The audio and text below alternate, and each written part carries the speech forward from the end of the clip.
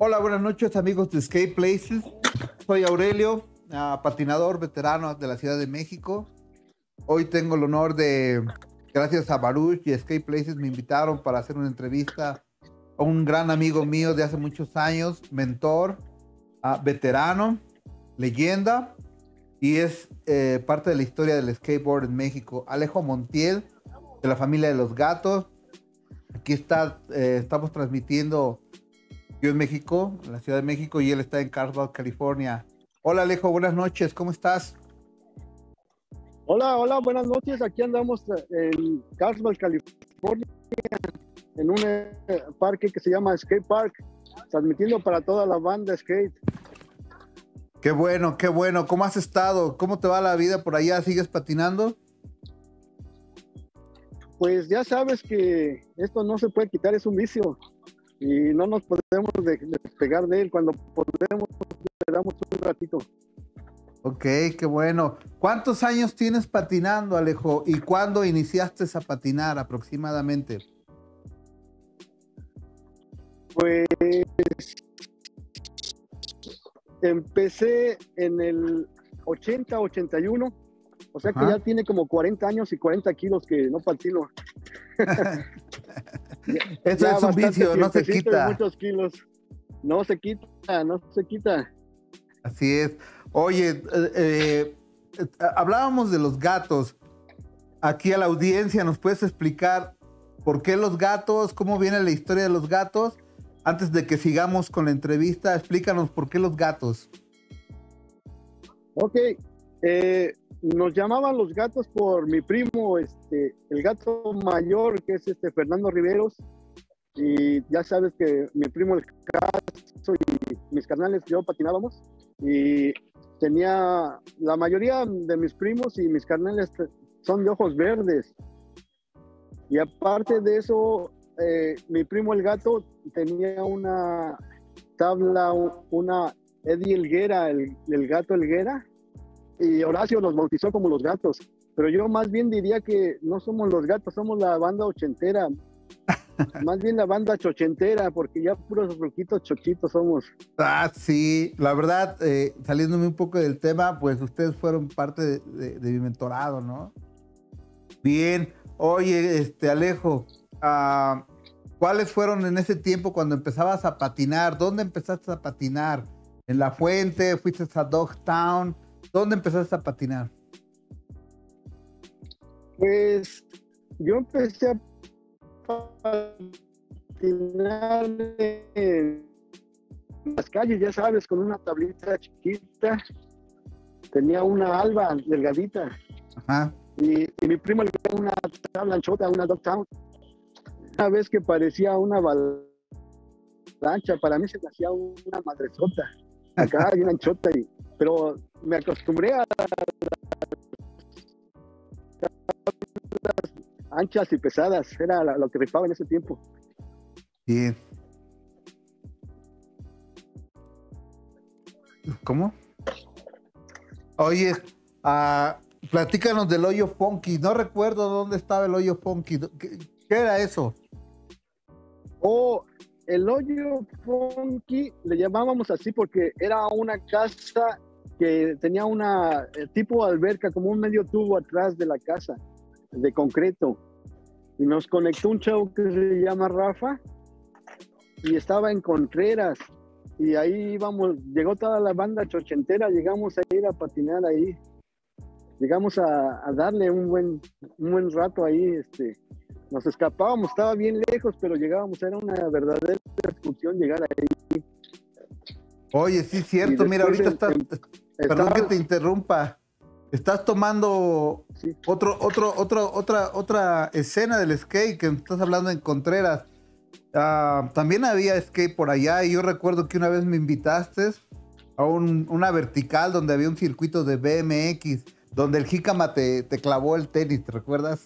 En la vertical. Oh, sí, pinche jícama. sí, cómo olvidarlo. Pero sí, eh, le pegábamos por todos lados, o sea que eh, no había pistas, no había lugares donde patinar y buscábamos, estábamos hambrientos de, lugares en donde patinar. porque tú sabes que en esa época eh, había el, Dogtown, fue la, en el 74 al 79 fue la época dorada del skate. Así es. Donde era el auge. Estaba el Dogtown, estaba el Gran Batazo, estaba eh, la, este, Escatorama ahí en, en, el norte. Pero cuando nosotros empezamos a patinar, murieron esos lugares, los cerraron. Y nosotros estábamos sedientos de un lugar donde patinar, no teníamos dónde patinar. Yo llegué a, ir al Dogtown todavía, sí alcancé a entrar, pero llegamos y, y era una bodega de madera y, le dimos una feria al, que cuidaba ahí, al velador. Nos dejó entrar a patinar. Yo alcancé a patinar ahí en la, la olita que había y en el roller. el roller, eh, tiene una vertical enorme, ¿no? Tenía. No, hombre, estaba bien cañón esa. Eh, te aventabas de dropping y ya estabas del otro lado, luego, luego acá vienen caliente. Tenías que dar el giro de volada porque estaba bien cañón. Oye, ¿y cómo fue que... era lo, que rifaba. ¿Y cómo fue que llegaron a, la, fuente, a la Deportiva 2? Porque antes le decíamos la fuente o la puerta 2. ¿Cómo fue que llegaron a ese lugar? Sí. Pues como te decía, estábamos sedientos de un lugar, no había lugares donde patinar, todo se había muerto, eh, estaba decayendo eh, a finales de los 70, no había ya dónde patinar. Y buscábamos, preguntábamos, llegábamos a ir y cerrados. No, pues llegábamos, no, ya valió madre. Y en una de esas nos dijeron, ¿sabes qué? En la fuente, en la fuente hay un lugar donde les dan ahí, pueden patinar ahí en la puerta 2 en Balbuena. Así es. Llegamos cuando todavía no era la fuente, todavía era un charco ahí. y si recuerdas que, el este piso de la fuente no estaba completamente liso, ¿sí recuerdas eso? Oh, sí, solo había una esquinita donde podíamos patinar. Y, y, gracias a eso que ese lugar estaba lisito, pero no tenía transición íbamos y, dabas el golpe para entrar a, la rampa.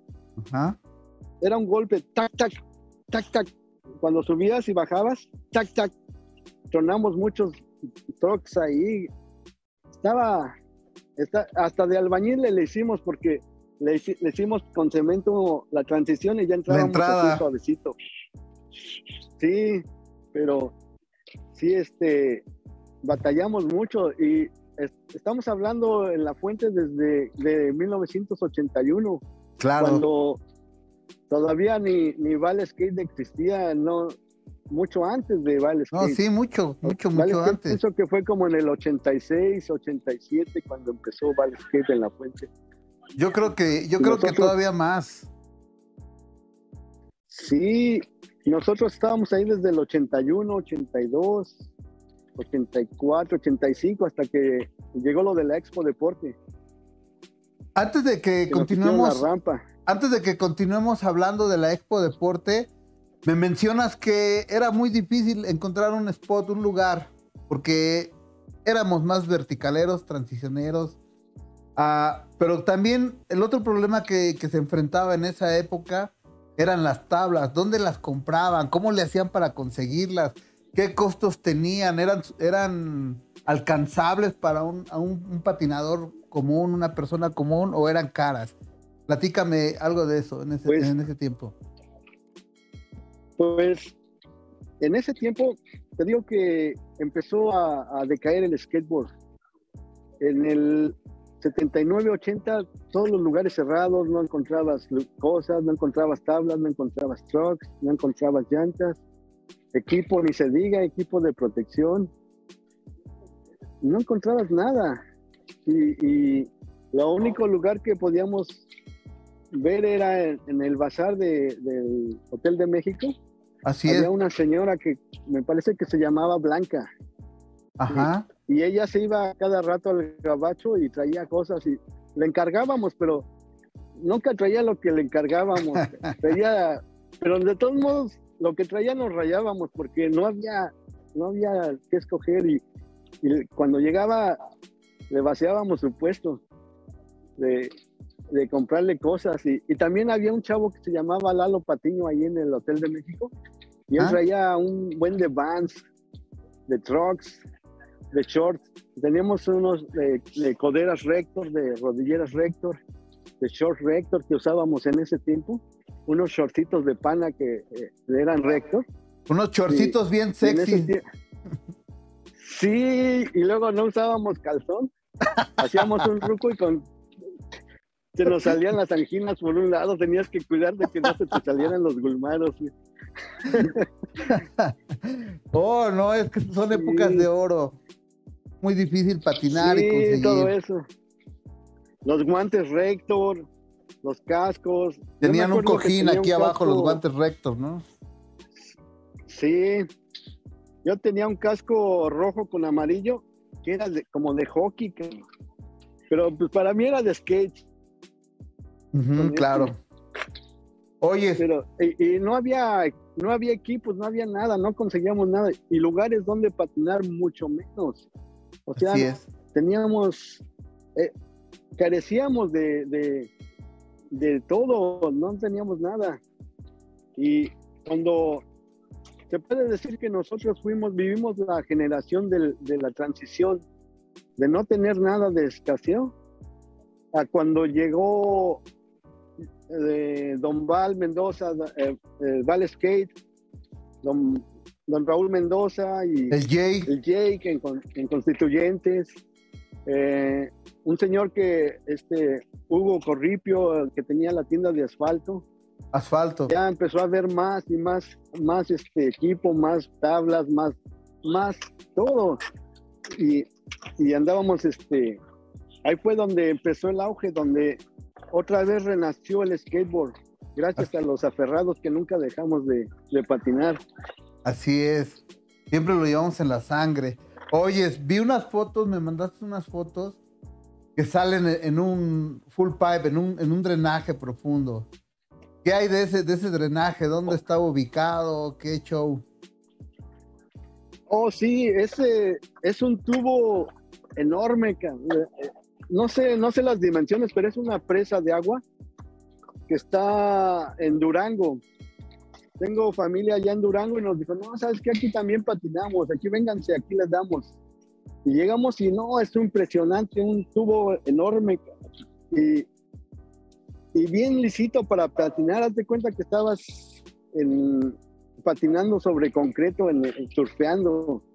Estaba bien chingón ahí, eh, pero estaba enorme, enorme, enorme. ¿En qué año la- fue eso? Se llama la.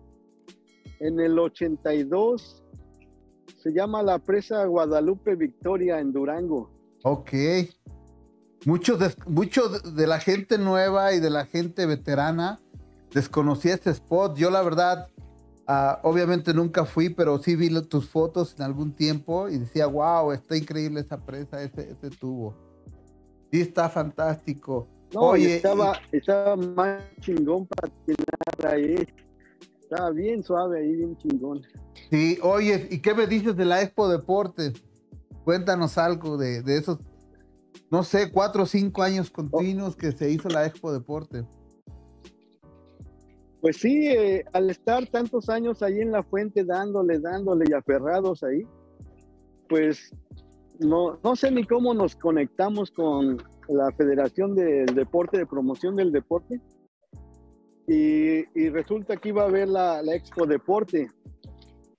Y eh, no- nos dijeron que este que qué ocupábamos para, para poder dar unas exhibiciones ahí. Y ya les dijimos que un medio tubo y les dimos las dimensiones de eran 10 de largo, 2 de ancho, 4 de eh, no, 4 de ancho y 2 de alto. Era un medio tubo de armazón y de madera, lo, lo forraron de madera Y estuvo bien suave porque creo que ahí fue el, el primer lugar donde eh, influimos a muchos morros de ese tiempo. Nos veían patinando y se nos juntaba un buen de gente ahí Así es. y, y yo creo que muchos morritos de ahí este, dijeron, wow, yo quiero pegarle en esto. así y es. estuvo suave esos tiempos, nos pasábamos desde que abrían hasta que cerraban, ahí patinando. Sí, recuerdo. Nos hacíamos. Sí, tú, estuviste ahí. Sí. Eh, toda la banda chochentera. Estoy hablando de, del, Roberto El Greñas eh, y su el Jícama, el Moy. El Jícama, los, los Macotos. Eh, el Aurelio Abeldaño, no se diga. Este, Oye, después llegó la generación de Jay. El Baby. No, bueno, Jay nunca, nunca dejó de darle tampoco. Él, él era otro que, le seguía pegando siempre. Él, el Batman, eh, eh, el Gambox. Y, junto con ellos llegó este John Aguilar, el Calabazo, el, el Redrogo, digo el Rodrigo, este, y varios más. Toda la bandota toda la bandota, pero ellos ya fueron como al finales de los ochentas y fue donde la pegaron en los noventas, que Así se hacen llamar veteranos noventas. Así es. Oye, Alejo. mis respetos. Sí. Alejo, ¿me escuchas? Sí, sí, dime. Oye, y de los, de los patinadores de la primera generación, ¿a quiénes recuerdas? Y si me puedes mencionar algunos patinadores buenos, pero que no eran de los famosos, que estaban en el, anonimato, ¿en qué colonias veías buenos patinadores? ¿Qué me puedes platicar de eso? Oh, sí, mira, eh, yo, yo pienso que la, la, generación de skateboard en México se divide como por décadas más o menos. Eh, eh, podemos considerar que la primera oleada fue la, vieja escuela, donde tal vez a ti te pase como a mí. Yo para mí tengo mucho respeto y admiración a, los chavos que patinaban en ese entonces, que eran mis ídolos, que los veía y decía, ay, güey, ¿cómo sale volando de aéreo este cabrón, no? y decía yo, yo quiero hacer también eso. Y eran como una motivación, como algo, algo que me inspiraba a, seguir. Y entre ellos recuerdo a leyendas urbanas que se oía hablar del Sombra, del Cacha, de Manolo Ball. Eh, en, el, en el norte, en, en Perinorte, todo esto estaba este Luis Reynoso, eh, el buen eh, en, este el cacho, el frijol. El, sí, el frijol. Este, el buen Ogi Camacho. Ahí, este, eh, y mi amigo el Chente, veteranos pioneros del skate. Claro. ese es Vicente Alonso, es el Chente. Son, para mí fueron motivación. El Tenoch Ramos, que de por sí hizo, él, él hizo una película que se llama De veras me atrapaste. Estaba el rock eh, y él salía patinando, se aventaba un parado de manos ahí, salían en tablas ahí. Y ya sabes, todo eso nos motivaba a seguir.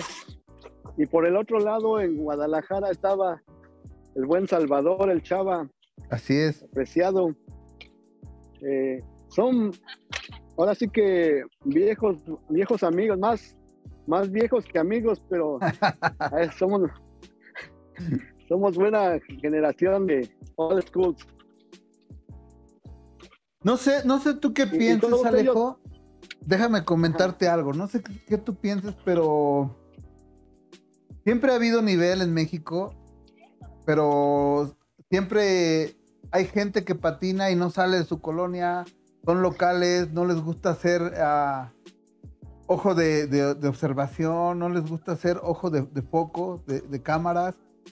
Y siempre he visto buen nivel en todas las colonias de México.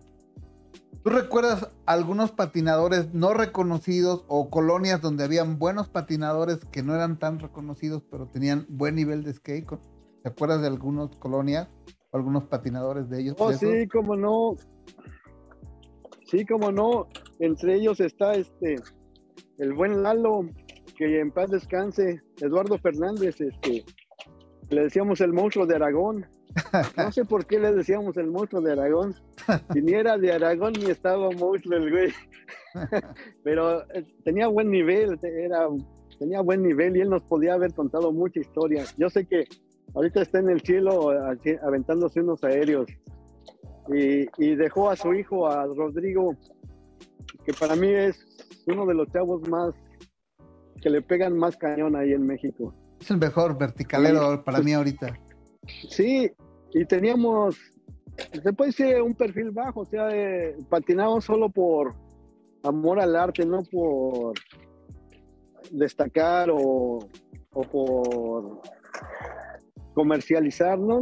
Patinamos porque nos nacía patinar y te digo, desgraciadamente ya, ya no está con nosotros Lalo, pero lo recordamos también. Sí, Oye, ah, y vamos a también, también estaba el, Greñas, el Roberto Roberto López Orozco, ya sabes, el Greñas, famosísimo. Él es más famoso que, los menudos. Sí, el que no patinó con Roberto López, el Greñas, no conoce el skate en México. sí. Tu hermano, Sí, mis carnales, mis carnales, Julio César, este, Freddy, Marco, también todos ellos. Y después ya hicimos la rampa en Nakosaki, ahí le pagábamos, ahí en Nakosaki. Pues nosotros separados de, sin, sin buscar, te digo, nomás patinando por amor al arte. Así es. Oye, ¿qué me, cuéntame algo de, de Acosac.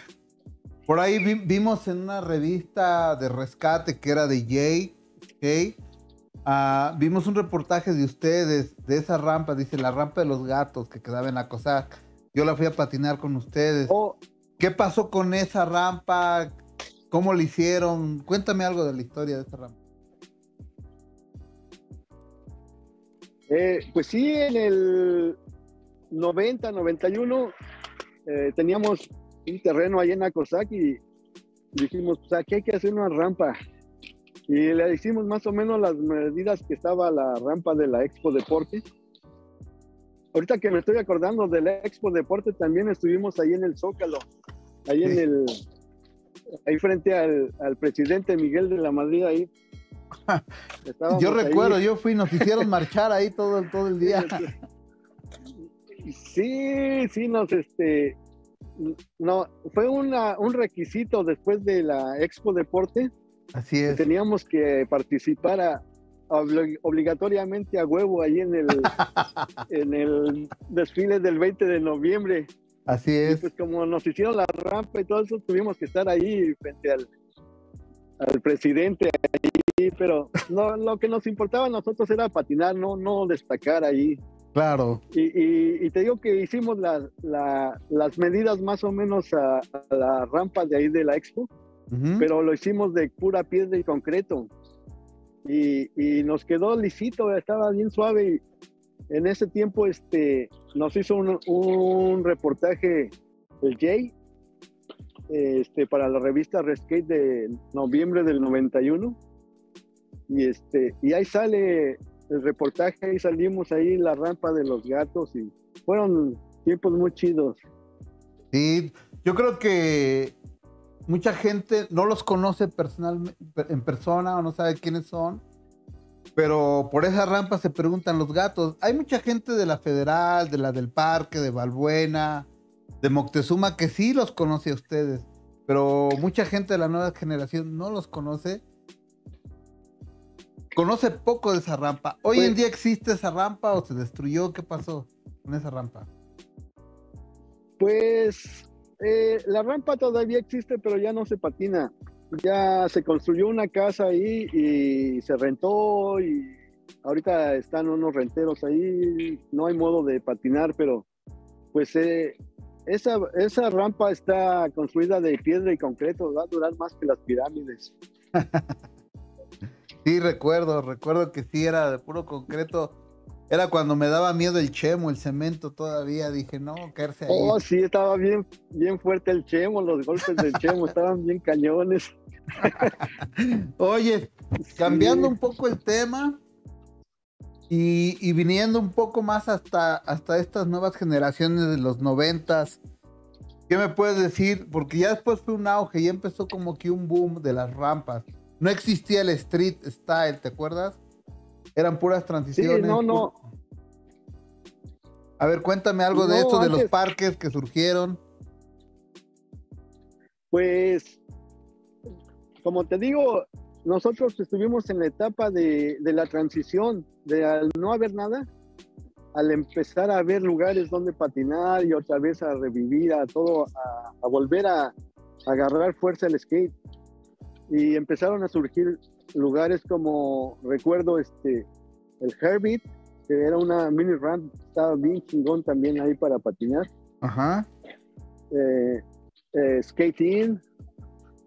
Eh, estaba también eh, Escatorama. Skate Paradise. No, Perinorte, era Skate Paradise en, en, en, lo más verdes. Perinorte, ah, la Cuajirrampa. La Cuajirrampa. Allá en, Cuaji, allá en Cuajimalpa. Este, ¿qué más me acuerdo?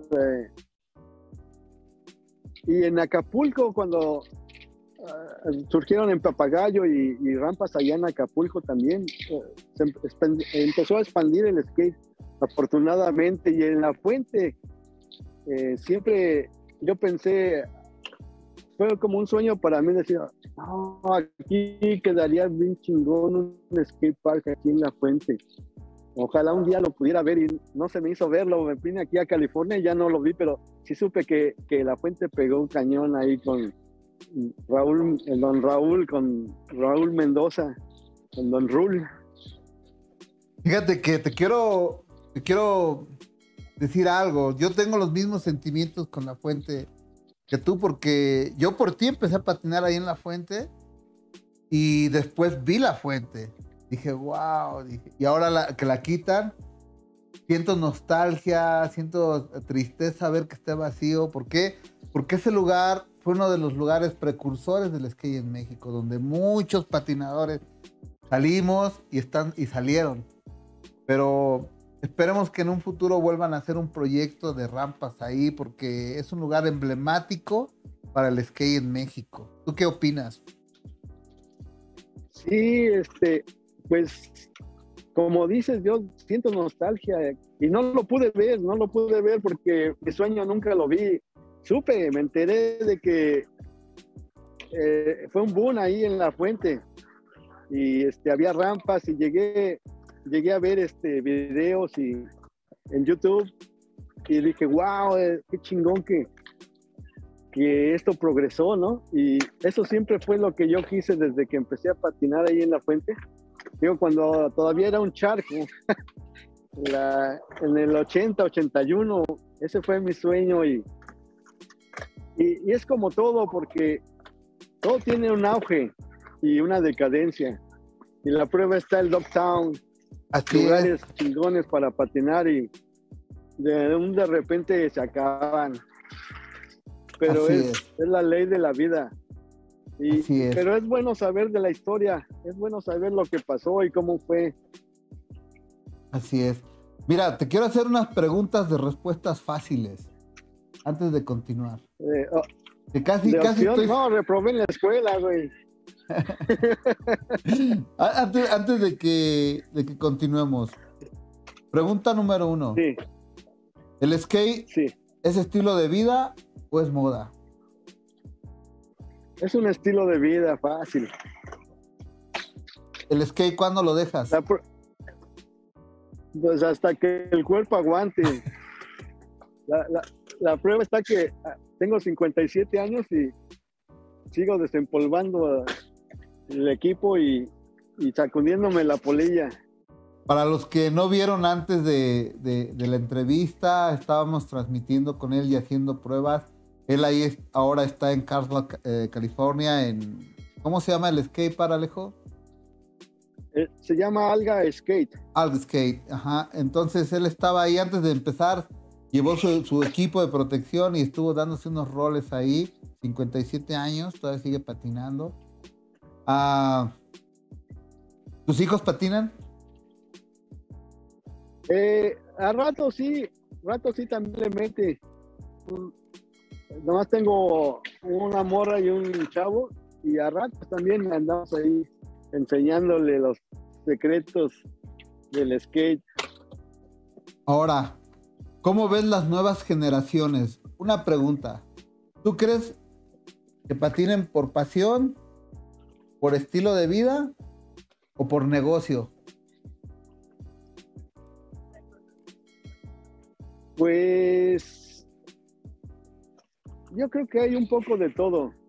Ah, hay mucha gente que patina por, por gusto y otros que patinan por moda y, otros por, por ah, seguir un, un, estilo de vida, un, un patrón.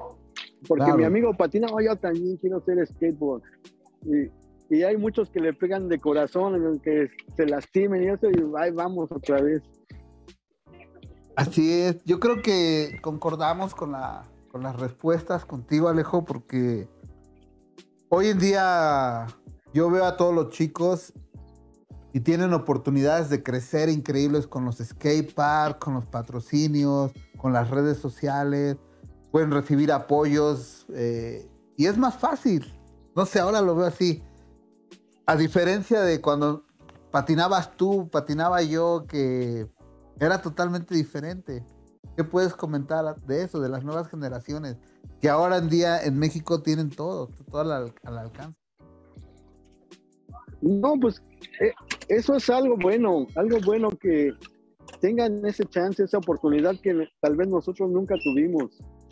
Nosotros teníamos unas rodilleras rector y una de un color, una roja y una, una azul, porque ya, ya las otras estaban bien madreadas. La cuidábamos el equipo porque no teníamos, y así andábamos patinando. Y lo, le poníamos cemento de, en, en, la concha para que se pegara y las cosíamos y las andábamos ahí remendando ahí, porque no teníamos, carecíamos de todo eso. Y, y, las nuevas generaciones tienen ahorita el chance, tienen todo. Tienen celulares, tienen patinetas, tienen promotores, tienen pistas, tienen, tienen todo, tienen todo a la mano y yo recuerdo que yo recuerdo que con tu tabla o con la tabla de, Roberto del Greña patinábamos como cinco camaradas. Sí, pues sí. Y cuando nada más veías tu tabla que, que se le iba a tu compa y le daba un madrazo y decía, pues no hay pedo, no hay pedo, síguele. Pero pues es que no teníamos, no teníamos. Sí. Este, pero pues de ahí mismo, te digo, así crecimos, así crecimos con la, eh, la Eddie Elguera de mi primo el gato. Con esa empezamos todos a patinar. Fue la de batalla, con esa le dábamos todos. La Variflex. La Variflex. ¿Marcas preferidas de tablas? Eh, pues para mí las viejitas, las old school, las anchas, aunque son pesadas, pero er, eran las que yo estaba acostumbrado. Ahorita estas de aquí siento que se me sale el pie, pero las Power Peralta, el, el, logo más chingón para mí es el de Mike McGee. Eh, la más cómoda, una de las más cómodas, la, las Caballero ah, y las Vision que empezaron a rifar en el 85. Unos modelos muy chingones. La Psycho. Eh, la González. Las, Vision y la Santa Cruz. Santa Cruz, todas las de la vieja escuela. Todas esas para mí son las más chingonas. Pues eh, voy a hacer un comercial brevemente aquí en la tienda de Fish and Bones. Ah, se encuentran tablas de ese estilo, las OG Design y las, las nuevas versiones, las reeditadas. Y honestamente, yo no puedo patinar con doble tail y regresé a las, a las versiones antiguas. Yo patino con puras versiones ochenteras hoy en día. Ah, Órale, sí. Veo que tú patinas y que estás patinando una doble T.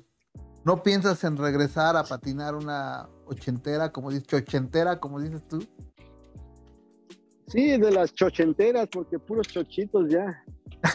este, sí, pienso agarrar este, una, una ancha que, que sea de la vieja escuela para sentirme más cómodo. Casi ya no he patinado mucho, pero sí pienso agarrar una. Bien. Y casi ya para terminar, quisieras mandar un mensaje, un saludo, uh, quisieras decirle algo a la audiencia, a las nuevas generaciones, porque yo lo posteé esto eh, en, mi red social y muchos esperan escucharte, escuchar anécdotas, escuchar motivación de parte de un veterano de, Alejo de los Gatos. Uh, ¿Quisieras comentar algo? Sí, como no. Eh, que yo algo que me he dado cuenta, eh, están haciendo los morros como una división que, no, pues, yo soy street y como que hay una división entre, es lo que yo veo, ¿verdad? Pero yo pienso que eh, es uno skate y, y eres skate, o sea, y si puedes dominar las dos, eres, es, mejor. Más vale alguien que tenga habilidad para entrar en un bowl, en una rampa y hacer split también, creo que eres más chingón. Sí, por ahí tú, tú lo conoces bien, el Jicama una vez me decía, cuando empezaba el street style me decía, es bien fácil patinar así, en el piso, pero cuando empiezan a patinar así, dicen las rampas, el piso lo van a dominar. Y yo creo que tiene algo de cierto. ¿Cómo qué opinas sí, tú? Sí, como no, cómo, cómo olvidar al Jica más Mario Gis, otro de los veteranos de la banda chochentera. Eh, pues mira, yo, yo lo que pienso que cuando nosotros empezamos, calles había un chingo. Skate park casi no había. Y entonces, para darle en la calle, le puedes dar donde sea, donde esté una, una bajadita, unas escaleras. Ya lo bueno, afortunadamente, que hay lugares especiales donde se puede patinar, street. Pero nosotros nos sobraban un chingo de calles. Lo que nos faltaba eran rampas. Sí. Y ahorita que hay bowls y hay, hay todo, como te digo, lo vuelvo a repetir, si dominas las dos habilidades, street y rampa, creo que es mejor. Y no tiene que haber esa división. Es lo que yo le, sugiero a las nuevas generaciones. Qué bueno. Pues, Alejo. Y, otra cosa que le, sugiero, ¿Ah? otra cosa, usar protección, usar rodilleras, usar casco, usar algo, porque yo lo que veo ahora las nuevas generaciones patinan así, sin nada. Eh, cuando yo lo entiendo, porque cuando está uno chavo, somos bien vale madres y creemos, creemos que no nos va a pasar nada, nos sentimos Superman, pero no, las lesiones están cabronas. Y más, sabes, ah, ya con el tiempo de los años, ya las rodillas ya no, ya te crujen, ya lo que no, no te suena te cruje. Y, al, tiempo, a la larga de los años es cuando se empiezan a ver los resultados y a cobrar factura. Así es. Así es, todos cobramos factura tarde o temprano. Pues Alejo, la verdad es, es un, gustazo contactarte. Ah, espero que a la gente le haya gustado esta entrevista. Ah, te deseo lo mejor. Espero verte pronto por allá, por Califas. Y ya sabes, esta es tu casa y yo sé que de aquí va a salir una motivación para alguien, un, cachito de historia del skate. Ah, le puse como título, esta es la otra historia porque hay mucha historia en el skate en México, mucha, muchos patinadores. En ciertas zonas, ciertas colonias, siempre había locales patinando después de los 85 y consideramos que los gatos fueron precursores del skate en México. Ah, te agradezco de manera personal, te agradezco que me hayas involucrado en este vicio, en esta adicción que he dejado todo menos patinar. y aquí estamos, Alejo, te mando un fuerte abrazo a ti, a tu esposa, a tus hijos. Conozco a tu esposa de toda la vida, tú conoces también mi familia. Ah, te mando un abrazo. Y si gustas decir algo por último, adelante.